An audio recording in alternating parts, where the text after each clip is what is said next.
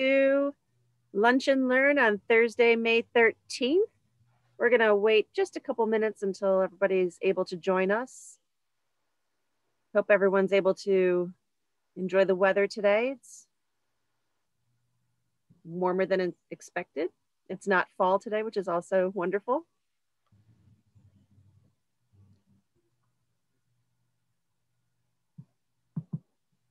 All right. It is my privilege to introduce my friend and colleague from Warren County Public Schools, Gina Casella. She is an OT, autism specialist, guru, passionate person about sensory needs, and I am so excited um, to have you here today to present this very important topic. So without further ado, we are going to let you roll. Okay. Well, thank you all so much for, well, thank you for the introduction first. And thank you all so much for giving up your lunch hour to learn a little bit more about sensory needs, um, both in the classroom and at home. So I'm just going to give you a little overview of what we're going to cover. Um, the first that I'm going to go through is why, and we'll talk about that. Um, then I'm going to give you a list of some specific observations of sensory behaviors. And then we're going to talk about what sensory system those behaviors are likely tapping into. And then we're going to go through suggestions for replacement behaviors. Um, and I do include ideas for adults and include ideas for children um, because everybody does get older and we need to have thing, things that are age appropriate um, but still meet the needs. At the end, we're going to have time for discussion and questions. If you guys have questions during it, feel free to ask. These guys have a monitor on here and they can you know, interrupt me at any time. Thank you, Katie. Uh, I do have a disclaimer at the bottom. So we're going to talk about sensory systems and I'm going to say, hey, you might see this that is probably this sensory system. It doesn't mean that it's just one sensory system at work. Um, there could be multiple reasons that an individual is doing a specific behavior. So we will discuss them as far as like individual, but please understand it could be a combination of things going on. So that's my little disclaimer to put out there. The first thing I want to talk about is why. Um, why is the individual doing this behavior? Is it something going on in the environment? Are they overstimulated by something? Are they understimulated by just their general self and they need to try to increase their alertness so that they can engage in their environment um, you can see these kind of things if it's a busy environment if there's a distinct sight or a smell like those things all contribute to the why why on the person's end um, the other thing that I want you to consider is why do you want to replace the behavior? We all engage in sensory behaviors all the time. Sitting right here with a fidget in my hand as I'm talking to you on the phone, I'm sitting in an adapted chair. Okay. Both of those things are fine and normal, and we don't need to change any of that. Um, so I, I, really want you to ask why, because you may observe things, but if you're looking at functioning within a classroom, students pretty much ignore that stuff. You know, they have grown up with individuals with autism in their classrooms, and they're probably not going to notice these things as much as you do. So when you're looking at that, just ask yourself is it in interfering with that person's ability to engage? Because it might. Um, is the behavior interfering with their interactions with other people? Am I doing something that then impedes my ability to actually interact with somebody else? And the third thing you can consider is I can't read my notes because the thing's on the bottom. Uh-huh. Is the behavior interfering with other individuals in the environment? So is it bothering me? Is it impacting my ability to engage or is it bothering other people? Um, and unless it's, if all of those questions are no, then you don't need to do anything about it. Just like let them roll and let them do the sensory behavior they're engaging in. All right, but say we decided that we're seeing some things. So here's the first thing that you're going to see, right? So you see that a student or an individual is rocking in place. They're sitting in a chair, they're rocking. When they get on a swing, they might go with crazy intensity and they're hitting it to like the high ends of the swing and going back and forth as much as possible. They might twirl or spin in place. Um, all of those things are something that you would see in an individual that is seeking out sensory input. Um, avoiding in this particular sensory area would look like avoiding changing your head position in space. This would be a student who has no interest in getting on a swing, who doesn't want to get on any surface that's uneven that would tip their balance. It's any resistance to their head changing position in space. So the system that we're talking about is the vestibular system. Um, again, first question, why do you need to provide an alternate? Keep that in your head every slide and every sensory system that I'm going to go through, that is my first first bullet on every one. Why? Okay, because I really want you to put that in your head. Do you need to change it? Um, replacements for that are having a rocking chair or a swing that the person can use. You can use those pod chairs, which are very much uh, more socially appropriate as you get to like middle school, high school, and up to adult adulthood. Um, those things are available for homes. They cost like a hundred bucks. They're not expensive at all. Um, you can use a swivel stool and then they can get some rotational move, movement in if that's the twirling that they're doing. You can also use something like a balance board and balance board is a very technical therapy tool. Um, but people more often know like a hover skateboard. They can get on a hover skateboard and then they can kind of get that same thing. And again, maintain being a little bit socially appropriate. So those are some ideas for the vestibular system. Not an exclusive list, just some general ideas. Okay, so the next one, I'm going to show you the cutest kid in the entire world. He's one of mine. They do. that is my son Connor. He has been stimming like that his entire life. um, whenever he gets excited, so you probably heard me at the be- beginning say, "All right, do it." Um, we talk about that at home all the time. He gets excited about something, and the first thing that he does is put his hands up here and he flaps. Um, so you guys may very well have seen that in different individuals. I talk to him about it at home and I'm just like, okay, why are you flapping? What's what's got you excited? and you know, we'll have that conversation. It's not something that I've done anything about. So again, do you need to do anything, right? Um, so in this system, there are seeking activities that you will see. Turning lights on and off repeatedly, or just turning it off and leaving it off. Um, flicking the fingers by the eyes. And so that was kind of the video that he was doing uh, spinning objects or parts of objects and doing that really close to the face. Some things that you would see if someone was avoiding um, would be the closure of the eyes or the squinting, kind of putting your head down and covering your eyes, turning off lights and avoiding space with fluorescent lights. I really want you to pay attention when you're working with individuals with autism on hallways. Um, from a behavioral standpoint, and we're not talking about behavior today, but um, from that standpoint and observations, you might enter into a hallway that is like a white hallway. You've got light colored walls and you have the white floor and those fluorescent lights, and it's just long. And you'll see a glare that's all over the surfaces. That can be really difficult for individuals with autism. And you may see the behavior that the student wants to run down that hallway people typically say, okay, that's escape or avoidance. Well, not necessarily. It could be overwhelming in that environment because of that glare. It's a lot of visual input and visual information going on. So consider that um, when you're working with people and you see that behavior. Um, so, what could you do about that, right? All right. So, what are our options after we decide that, yes, we need to provide an alternative. Um, you can use shaded or colored glasses. You can just have regular, you know, sunglasses, or they come in different shades and different colors. You can use that. Um, that is if somebody is avoiding visual input. If somebody is seeking it out, you can use light strands or bubble tubes. Um, and either one of those things, yes, there is all that Snoezelen and um, those sensory pieces that you can get off of medical type websites. However, um, what I have used as a less expensive alternative is my friend Amazon, and we're buddies.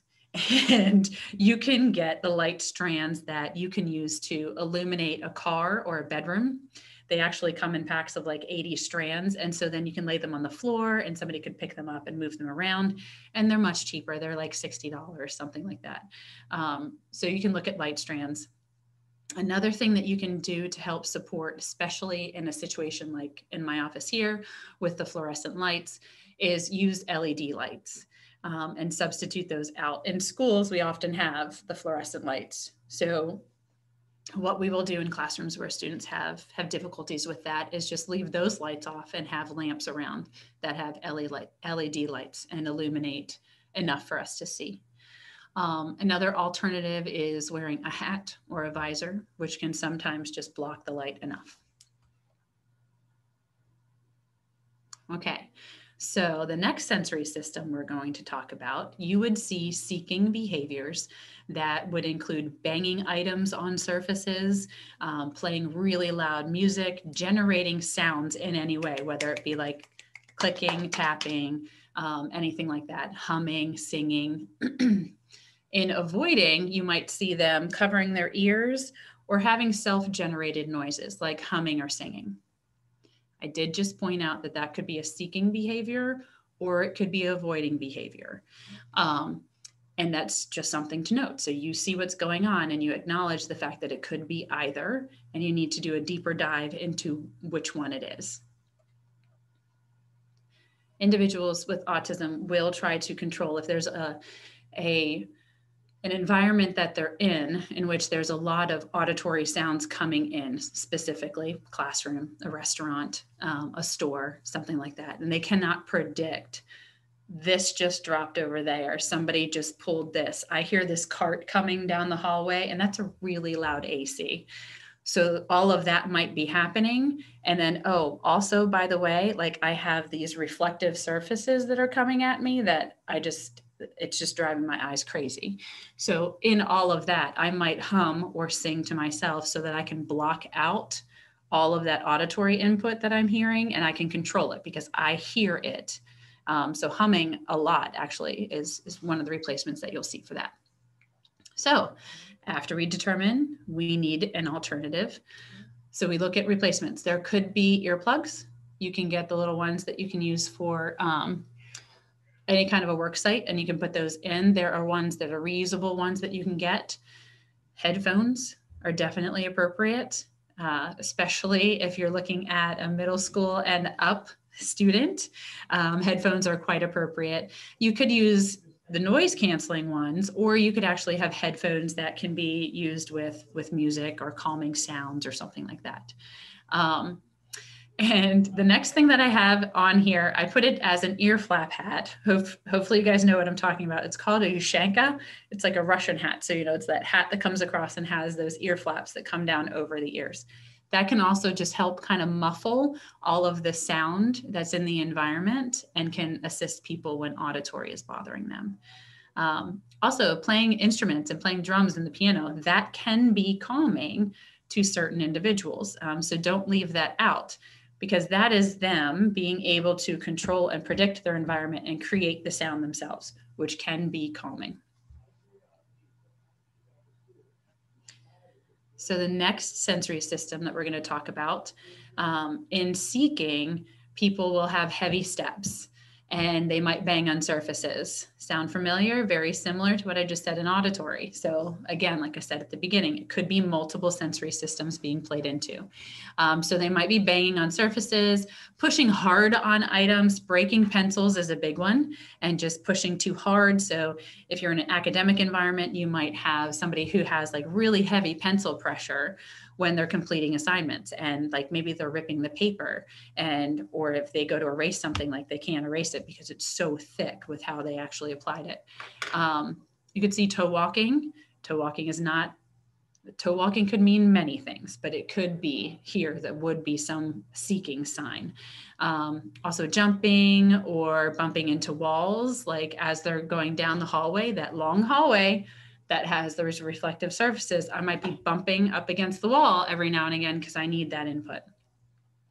In avoiding, which is really rare, um, but it does happen, it is avoiding hugs and avoiding he heavy pressure.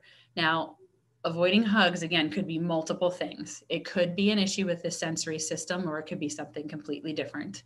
Um, most people find this sensation to be calming. It's rare for it to be bothersome. Um, but we are talking about the proprioceptive system.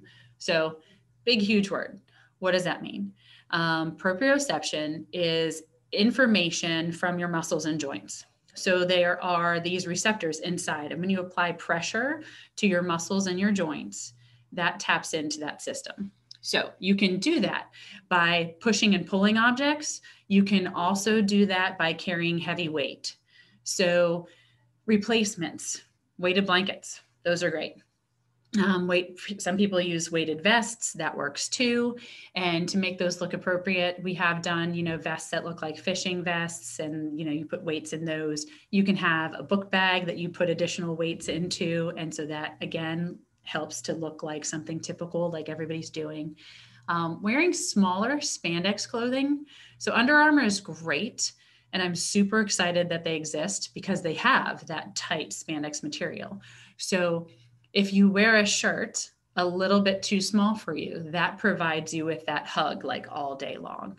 Um, there are other things like compression vests, but you would want to use um, an occupational therapist to assist you uh, looking at that one. So I didn't put it on the list because I don't want people referring to that one outside of guidance from an occupational therapist. Um, other things could be heavy work, carrying objects from one place to another, um, actually doing weightlifting. Again, we talked about what's the adult activity look like for this? Weightlifting and doing any kind of weightlifting on a regular basis, like doing that once or twice a day, that's going to provide that input and have a calming effect. Um, placing weight on or in items, we talked about that. Jumping jacks or jumping rope also gives you that compression information. Uh, donkey kicks. All right, people are probably going to say, "What is a donkey kick?" Um, you put your hands on any surface and you kick your legs backwards. Um, it's something that we like to do with our younger folks. You know, elementary school age students. That usually works out for them. Um, chair push-ups is the same as you can use that at any age. You go back, put your hands on your chair, and you dip down. Some people call them chair dips. Either way. Um, and apparently there's weightlifting. I mentioned it at a place. So the next system we're going to look at, um, seeking in this system looks like rubbing be- objects between your hands. So they might pick something up and like sand and kind of rub it and go like that between their hands with rocks, with gravel as you're taking a walk. Um, eraser bits are popular to pick that off and then kind of pull that apart until there's nothing left. Um, picking up objects and dropping them repeat, repeatedly. In avoiding, you would see somebody who doesn't want to touch messy objects or shaving cream. Um, they won't use their fingers to eat. So there are times and foods that are appropriate to finger feed, but they will avoid that at all costs. Um, and you'll definitely see that messy object thing more so in like an elementary type student um, avoiding those fun activities that we like to do in elementary school. So the system that we're talking about here is tactile. Tactile means touch. So again, why do we need to provide an alternative? I'm sitting here still fidgeting with my rock. Um, but if you do, let's do that. So replacements, kinetic sand, this stuff is super cool if you've never seen kinetic sand. So it looks exactly like sand, but you can move it and actually shape it into different things. The reason I like that over just regular sand from anywhere else, regular sand from everywhere else gets everywhere. This kind of like sticks to its own um, and it does come off your hands quite nicely. So kinetic sand is definitely cool to use. Um, younger people, you can do shaving cream activities and you can do fidget rings. I have jewelry that I own that are just three rings that are intertwined. And if I get in a situation where I'm nervous or I just need to have that outlet, I'll just move the ring up and down my finger. Um, so there's that jewelry. And you can also have textured clothing or pants. Like some individuals like to have um, pants that either have, like, I'm going to say bejeweled thank you, I just acknowledged my age, but have the little jewelry things on them or ones that are embroidered because the feeling of that, if they rub on the like top of their pant leg and that has that, that could be very, very calming. Another situation that you could do is underneath the desk, putting Velcro either side of the Velcro underneath the edge of the student's desk. Then they can just run their fingers back and forth over the Velcro and have that um, input. Another thing is pebbles. I noted that I have one rock. I have a little container full of pebbles, and so you can just play with that. Um, Zen gardens also work very well if you're looking at an adult.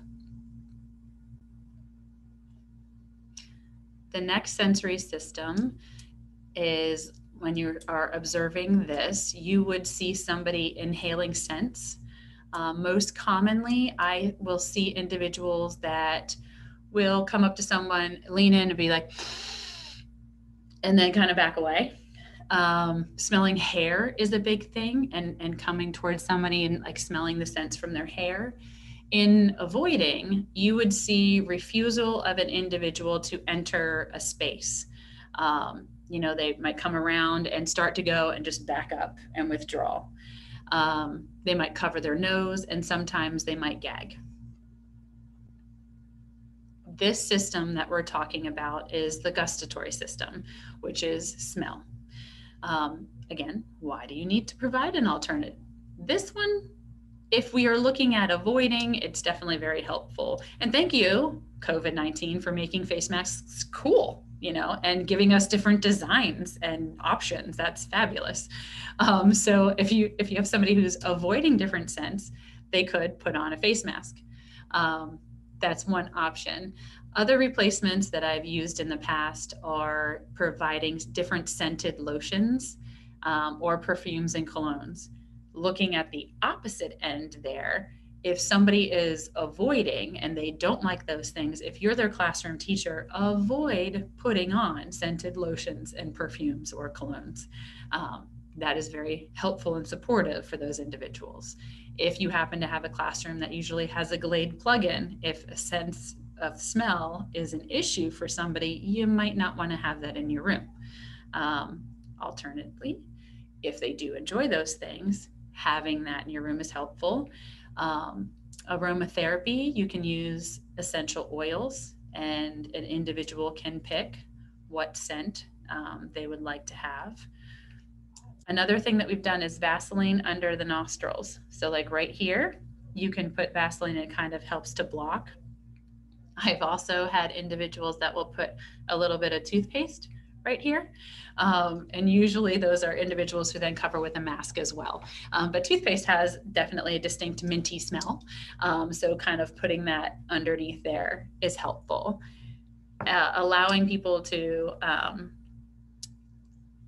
allowing people to like that sour, spicy, minty, bitter, that's not supposed to be there. That's supposed to be in my oral slide, which is coming up. I'm going to remove that later. um, but with the minty, like I said, you can put a little bit of toothpaste underneath the nostrils that can help. Okay, so the next sensory system, looking at the wet neck of shirts, so you'll have, you'll see an individual that this part of the shirt is wet. It's usually like wrung out a bit. Um, wet sleeves on their shirts. You might see some drooling, um, mouthing of items, different objects. Chewed pencils, that can be an intense one. Um, some individuals will like to actually chew the metal piece of the pencil and to the point that it comes off and they might actually crack the pencil itself. Um, in avoiding, you might see an individual who has a very picky appetite. They only like certain textures. Um, this can be a sign, like you can see this. It might be a clue of having an issue if you have an extra long use of the bottle um, or pureed foods. It's not always the case. That's a complex area. There could be lots of things going on there, but one of them could be avoiding the input in this area. And so the area that we're talking about is oral. So that's having to do with your mouth.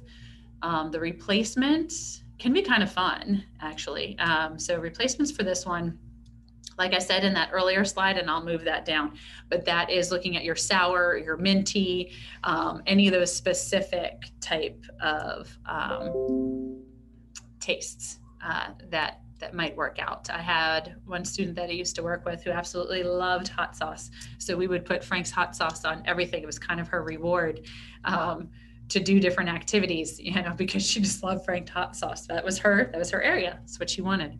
Um, thick beverages. So if you have an individual who has oral seeking behaviors, drinking a milkshake out of the straw, very helpful. You can add thickener to different liquids, um, but you can also use a smaller straw. And that could be using a coffee stirrer with like a regular beverage. It just requires more oral action to be able to drink that. Um, you can increase the texture. Pretzels and nuts, so you're getting that crunchy texture. You can increase the resistance of what people are chewing. So you could do now and laters or starbursts Gum is kind of like in the middle there, depending upon how many pieces you're chewing, what kind. Um, there's also awesome jewelry at this point. So you guys have probably seen like the dinosaur necklaces and things that they have come out with for younger folks. Um, those are excellent options. There are also things called chewy tubes, which uh, they, they say they are indestructible. I will say that I've seen them be destroyed, but um, chewy tubes are an option. And then I did mention something on here that's called a Z Vibe, and that is intense stimulation in the mouth. Again, I would consult with either an occupational therapist or a speech therapist related to using that. Um, it's definitely a very intense uh, way to take care of this sense. And then we also have crunchy, chewy, mushy, or any combination of that just to stimulate um, oral sensation. Oh, so that is the end. Apparently, I did that quickly. Um, so, do you guys have any questions? Again, I just kind of went over general observations that you're going to see and some of the suggestions, but there is definitely, definitely not an exhaustive list. Yes. Th- Gina, thank you so much for um, just giving all that information out. And I'm glad that we have some extra time right now to go over some questions because I think we're going to see a few rolling in here. So go ahead and add those to the chat. And I'm just going to scroll back up to the top and kind of give you an idea of what was happening in there while we were while you were presenting. But um, uh, really was kind of talking about um, copies of the slides. I put the link in the chat so that you can get the slides and also we'll post the um, recording from today out on that archives page. Um, the idea that we all have sensory inputs we are seeking and avoiding, just everyone can, can really see how that plays into everyday life. Uh, somebody mentioned that they have cloud shades that cover the lights in their room. Is that mm-hmm. something you've seen before, Gina? Yes, yes, we actually have them here in our office. So you can get different types. So there's there are when you have the fluorescent lights and you have that plastic cover you can actually purchase other plastic covers that come in different designs um, i've seen clouds and flowers and just really pretty things some that look like water um, all of those are great you can also purchase these covers that it's a fabric um, that has magnets along the side and that can kind of drape over the light.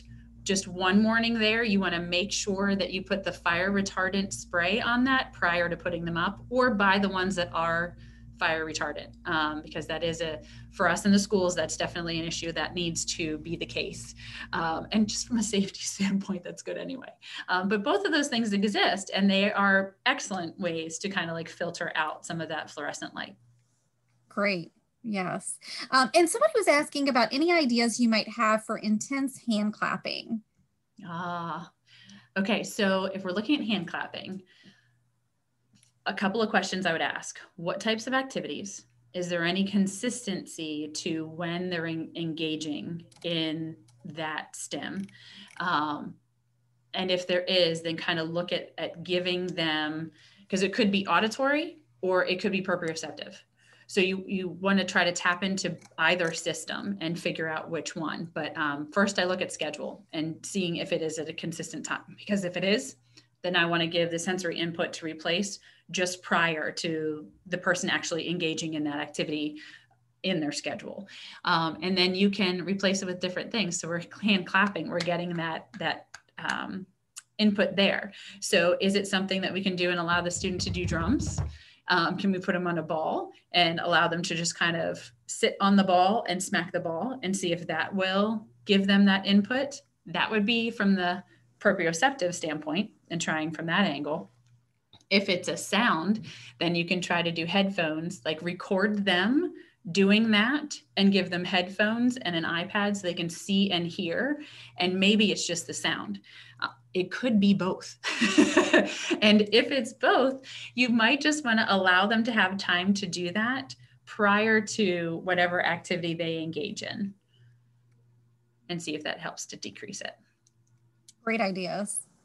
Um, here comes another one. Um, what would you suggest as a replacement behavior for tearing paper.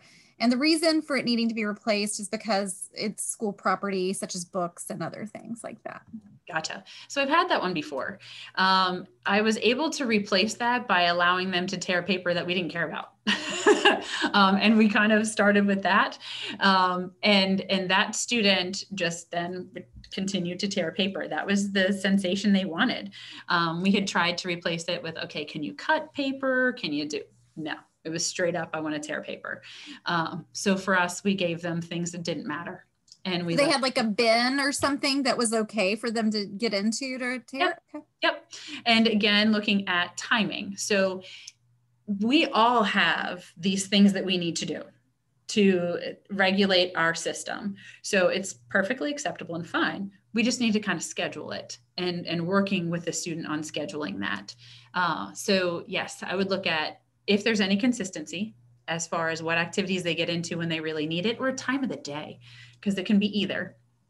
And if it is, hijack that jumpstart and give them that opportunity, give them that bin to actually rip stuff. And so you might have either old textbooks that are around that nobody needs anymore because now we're doing online stuff, you know, find things that that are okay for them to to go ahead and tear. I've, I've found that when I've had that one in the past, we work ourselves out of that. Like it's a, a time period where we want to do that and then we move on. A replacement mm-hmm. for that sensory need. Okay. Um, any ideas for the child who eats mulch, rocks, or Play Doh? Yes. Okay. So this is tricky because you could look at yes, this might be an oral sensory stimulation thing, or we could be looking at pica. So if it's pica, I can't give you anything from a sensory standpoint. It, it is, it's a medical condition. Um, if it is an oral thing, and if they're doing, like you said, rocks and other hard things, in my head, I heard hard things. So I would, I would look at replacing that with um, like rock candy or or pretzels, um, something that's going to have that jawbreaker or whatever. Yeah, jawbreaker, and like, but again, when you're looking at that, okay, so then two issues come up. Number one, it's a lot of sugar. Number two, if we are crunching these things, there's damage to our teeth. We're already damaging our teeth. So we kind of have to like pick our battles. If you choose, um, if you choose like the rock candy, it's going to give before like a pebble would. So it's going to be a little bit healthier for that. Um, but the sugar thing does tend to be a concern. Uh, and so you try the pretzels and other hard stuff like that. Great ideas. Okay, let me see. I got lost in my thing as I was listening here. Oh, um, suggestion for any replacements to hair smelling? Ah, so usually we have to replace the hair smelling because a lot of times that aligns with headbutting. Mm. Um, and I've, I've had that align. If that is the alignment, I have worked with people on asking smell I can't do please right now. Smell, please, um, is how I've worked with students on differentiating whether they were going to headbutt me or they wanted to smell my hair. Um, but something that I've done alternately is allowing them to, uh, we've gotten um, doll heads. We actually ordered like hair, a head of hair, like you would get if you were in cosmetology, cos, dermatology school. And we've sprayed that with different scents and let them smell that instead. Um, that can be like a phase out but you can also get the different essential oils. They have the little pads that come with you when you put it in jewelry. And so you can add that whatever scent it is they're seeking um, typically I've had students that have kind of gotten real interested in individual people. So it's kind of more like their shampoo um, or their hair products. So you can actually try to put that on the little pads that come for those jewelry things and see if you can kind of replace it and phase it out that way. That's a great idea. Um, the next one is pacify your habit and stop and to maybe stop mouthing everything. Mm-hmm. So another excellent questions, people. Like you guys are rocking it. Um, so yeah, very diverse right. questions. yes, but they're they're like they're like on point. I'm moving my thing. Okay, I'm looking over there. Um, so we could couple things could be going on depending upon the age of the individual and the developmental age of the individual. So they could be mouthing objects because they're stuck in the oral phase of development which would be that this is how I'm learning my environment. My mouth has the most sensation that I get information from because there is a period of time in our lives that is exactly that. You know, when you're very small. uh, but sometimes individuals with disabilities will kind of get stuck in that stage. So it could be that. Um, so consider that piece and just, you know, put that in your head and see if, if that's where that person is. And if that is where they are, then we just need to help work them out of that developmental stage, which may take time. Um, alternately, you could, well, you need to clean the objects most definitely. But what types of objects are they mouthing? Is it completely everything? Um, and when you're looking at the objects so is it objects that are hard? Is it objects that are soft and chewy? What is the texture of the ob- of the object and is there any consistency with the texture of which they are putting in their mouth? Um, if there isn't any consistency and it's just anything try increasing the stimulation. So i've talked about that young lady who liked red hot sauce on stuff. If you can increase the oral input. So if you provide them with something super minty or super salty or or um, spicy, that might give enough input orally to kind of stop for a period of time the mouthing. So and then you just kind of look at gradually like increasing the the stimulation that you're giving through the food item or through that that taste and see if that decreases the oral stim Okay. And so kind of you're looking to spread out maybe the time between needing that stimulation so that they can engage in other exactly activities. And then if if you do that, you kind of end up you can be able to phase it out completely. Because if you get enough stimulation and say it could end up being like cinnamon gum, like big red. So if they're chewing on big red and they're good, and as they're chewing on that gum, they're not mouthing on other items. They're getting the oral input they need, and then it's like switching out gum right. and then maybe eating food. And so, yeah, you can eventually phase it out that way. Neat. Okay. Um, last one I see up here um, is recommendations for a child who every time we go on the playground goes straight to sand, dirt, or mulch and puts it all over her face and hair. Oh, yes. It's a lot of mm-hmm. yeah. Yeah. That's an interesting one in on her face and then in her hair. So it, okay, so I, we're to see if I can ask more questions about this and if you can answer them. So when she's doing it, it brings the question up to me: Is this like in front of her? She's getting it on her face. I get that, but I want to know is is she putting it on her head? Can she see it? Is it a visual thing potentially that's coming down in front of her face? Or is it just like tactily over her head um, and is is that the thing? If it's um, visual and just in front of her face then when you oh, hmm. she says rubbing on her face she answered. Rub it. Oh good great thanks. Interactive i love it. Okay um so she's rubbing it on her face. How old of a kiddo is this? Didn't two. Ooh, young. Age. Young all right, so I had an idea but I'm taking it back. I'm going to put it out there in case somebody has somebody older. But I was thinking about like that exfoliating face mask stuff stuff that you use, and she's rubbing it on the face. So that's what would make me think that the exfoliating stuff might work. But of course, you're going to end up with some dry face if you do that too much and too often. Especially at that young of an age. Yeah, yeah. And I would not do that with a two year old. I would do that with an older kiddo. Um, you know, I'm not really sure what to do about that one. Because if she's two, she's just kind of exploring all of that and that's probably something she's going to work herself through. But i get from like a cleanliness standpoint whatever she's then completely covered in sand and mm. whatever else. Um, i'm going to have to think on that and see if i can get back to you with a, a better idea. Because right now i'm just thinking of protecting from her getting dirt everywhere. Yeah, like a hat that she could wear when she goes. Or... Exactly, which will probably not actually suit her needs. She's if she is getting out of it a sensation somehow, the hat's probably going to irritate her.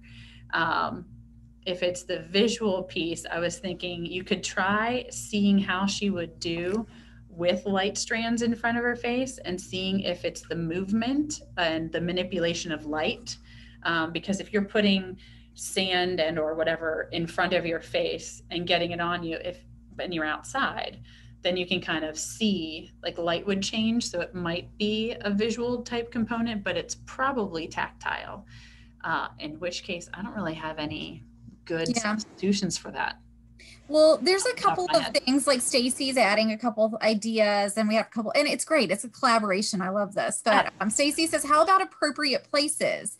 So, kind of sort of t- allowing that, but kind of helping to guide where it is happening. So, beach and sandbox and so forth. And she also thought maybe an hourglass thing if it's the movement of the sand. Yeah. Um, Sarah said, What if she was able to rub the sand through a thin material or mesh or something, but maybe it's enclosed so it's not getting all over her? I guess we don't know enough about what the sensory, you know, seeking. Yes, uh, it's exactly very specific. Happening. We need to watch is, a little bit more carefully to know more. Yeah. Yeah, it's a very specific behavior that, that yeah. Seeing right there. So it, that maybe one definitely you, would require some trial and error.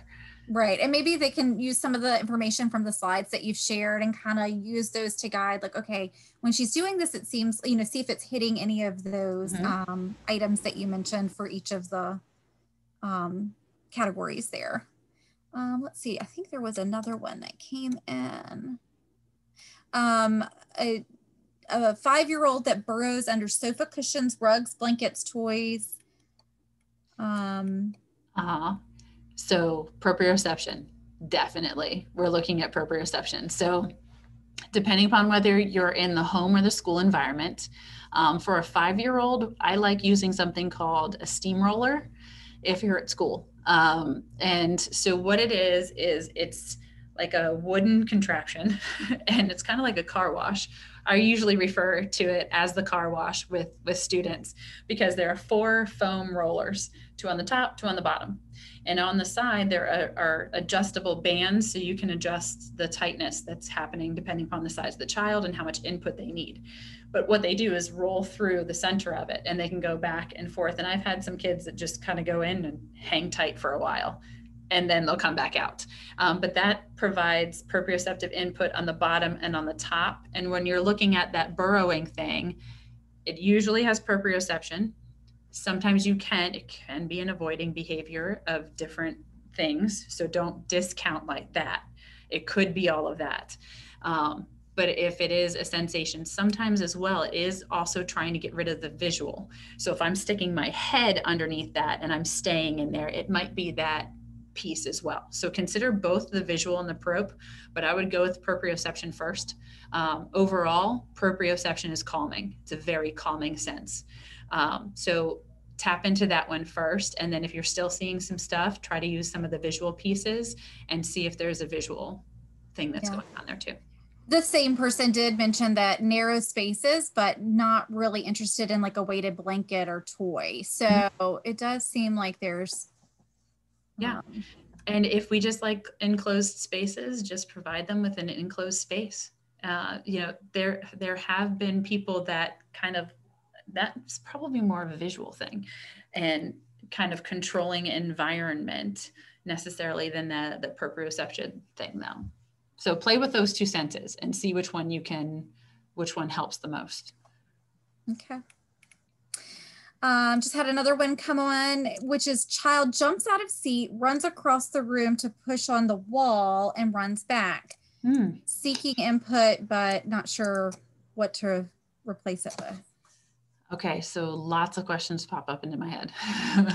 um, definitely want to know, uh, considering again, activity, looking at is it consistent with when it's happening? Is it a task Mhm. demand or is it just random? And if it's a task demand, look at that, try to like give sensory stuff, also providing that reinforcement. I know we're very heavily focused on sensory here today, obviously, it's what we're talking about. Um, but don't forget positive reinforcement paired with difficult activities. So I'm just going to put that disclaimer in there real quick. Um, but so look at that schedule. Then after that, think about the environment itself. Um, and I want you to use all of your senses when it's happening. Look at the walls. Are there reflective surfaces? How far is stuff from him? Sounds in the environment. Uh, like we have a school that doesn't have walls between classrooms. They're like office dividers. It's the weirdest school ever. But you can hear every other classroom. You can hear four classes in the pod. So think about sound. Are they hearing other things? Um, or is it just like enclosed and we're cool? And pay attention to to like um, the AC and the heat when they kick on as well. Um, some students will do that behavior when I need to figure out where I am in space related to a solid thing that is unmoving and I know it's unmoving. So they might go over into that and tap it and then they go back and they can sit back down and they know where they are. He might be going across and tapping it from a sound perspective because that tells him how far away from that wall he is. Um, so lots of questions to consider there to try to figure out what the source is, what the function is of that sensory input for him. So look for is it a work avoidance thing? Is it that something's overstimulating in the environment? Is he a kiddo that is doing that, but then also when he's walking down the hallway, he's the kid who's going to bump into the kid in front of him and or behind him or bump into the wall? If he has all of that stuff going on, refer him for OT because that is more of a motor planning and a position in space and a sensory processing overall thing. It's not a stim. It's it's his body and he needs some actual intervention from a therapist. Great. Um, and she, as soon as you said the um, piece about um, sort of understanding where he is in the environment, she's like, totally, that's that's absolutely it. Um, so so to help with that and help support that in the classroom, I would give him adaptive seating. Give him something that requires motor action on his part. So I'm sitting in an adapted chair right now. There are ball chairs you can sit in. There's T stools.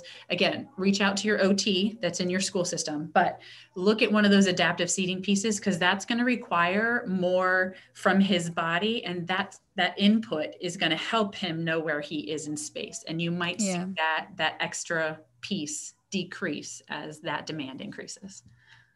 Very cool. Any recommendations for how to replace the humming, which can be seen in older kids as interfering in classroom settings, I think, and Yeah. those around them? so it's tough right because if we have high school students we definitely want them to fit in and then here you go you're in this gen ed class you totally can handle the content and you are making some loud noises um, usually what i find helps is having them have those little earplugs um, because usually the humming is trying to block out all of those unpredictable sounds that happen somebody turning a piece of paper like taking notes, like hearing a pencil on a piece of paper, all of those small noises. Um, and doing that, then you can get the little tiny ones, and then people can't see them as much. Yeah. You can go developmentally appropriate and have somebody put earbuds in, um, which is again ti fine because it's going to block out some of that extraneous sound. But of course, we would need to, you know, clear that with everybody and just kind of make that a note. But that can help. And That would be a suggestion. Otherwise, using headphones and letting them have like calming noises and sounds and whether it be music or ocean playing or something like that. You play with the different things because for each individual person it's different. Yeah, a little trial and error to sort of figure out what what works. So Yep. Yep. okay, great. Well, I don't see any other questions coming through, and I know we're kind of closing in on the hour here. And I wanted to just take a few minutes again to tell you thank you, Gina. I mean, um, just the wonderful uh, one-on-one answering questions. I'm glad we had a lot of time for that. And um, we actually have next week's Lunch and Learn. I'm going to drop that quickly into the chat um, so that folks can go out and get registered for that. We're going to be talking about cultivating inclusion next week. Um, and I do have a couple more um, questions rolling in right here at the end. Are you good, Gina, for another Yep. couple? Okay. Um, this is another two-year-old with a sock fetish. Hmm. Always has to have a sock in his hand. Doesn't matter whose sock or what it looks like, but needs a sock. No functional play because the sock is keeping him from playing with his hands. Hmm. Um, he's just walking around happy with the sock. Okay. So I think questions that come up in my head are are we flapping the sock? Are we just playing with it? Are we putting our hand in it? Or are we just holding it? No flapping, just holding. Just holding it. Okay. Let them hold sock. Maybe it's like a grip, like a, a hard grip. I don't know. I'm Hard trying grip, to. Okay. Don't know. So, so my first thing is, yeah, let them hold it. But say you're working with this kiddo and you need them to actually start like, you know, doing something. I forget the age. Did we say two? I think she said two, and I think that that's the issue. Is more that it's like I only want to do this. I don't want to engage in any other play that would help me learn things. So Yeah, yeah, yeah, yeah. Okay, so what I would do, so we have that is a tactile input would be my first thought. Um, and it's something that's smooth and soft. So I would give him, see if we can put like something smooth or soft, like or soft on his lap. So maybe take a sock and fill it with um, like beans and rice or whatever, like something that's a little bit heavier and like make it like uh, around his waist, like a belt so that it's there, it's always there. He can put his hand on it. And so when you want to have him do an activity, you can have him and I would start with hands on with him, like rubbing the sock thing that's around his waist and then putting hand over hand to put it on the surface, like up top, and actually give him whatever else you're trying to do, whether it be crayons or buttons or whatever, um, whatever thing you want him to do, and just reinforce, positively reinforce him doing something else, and then bring his hands back down so that he can feel that soft sensation. Try to work him out of it like that. Give it to him and take it away and positively reinforce him when he does engage in something else. yeah, great ideas. Um, online classroom, five-year-old would attend to songs but not to instructions. I use play sand, Play-Doh to get her to stay seated, but she is engrossed with that instead of the actual screen, I guess, where the learning is taking place. Okay, so what age did Online. Five. five? Okay, so at home, so has their own sand at home, I'm guessing. So what I'm hearing is that we have a five-year-old kid trying to engage in the learning, not doing anything unless it's sing-songy. And then we have our kinetic sand situation going on over here. Is that what that said? Yeah, I think that maybe it's, I mean, I'm thinking, and correct me if I'm wrong, Michaela, but it sounds like maybe the play sand and Play Doh might be part of the instruction to kind of keep people, the kids and young kids engaged. Yeah. That's what I'm reading.